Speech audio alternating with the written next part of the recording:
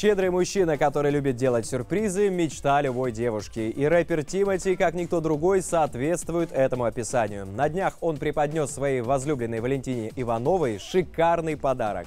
В день рождения девушки рэпер привел ее с завязанными глазами на парковку, где и ждал тот самый сюрприз. Черный автомобиль стоимостью в несколько десятков миллионов рублей. Именинница была безмерно счастлива и не могла поверить своим глазам.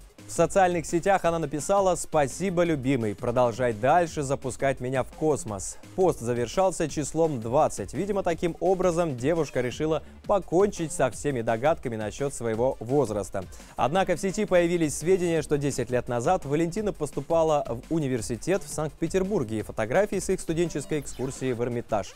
Все это поставило под сомнение правдивость информации на странице модели. Подарок Валентине не единственная машина, которыми Тимати радовал своих близких на этой неделе. На днях их с Анастасией Решетовой сыну Ратмиру исполнилось 4 года. Вместе со звездными родителями и сестрой Алисой мальчик провел время в картинге, а в качестве подарка получил детский электромобиль. Родители помогли малышу задуть свечи на торте и загадать желание, которое посоветовали никому не рассказывать. Анастасия Решетова в шутливой форме понадеялась на то, что это были не машинки. Связано ли это с подарком Тимати своей нынешней девушки, остается только догадываться.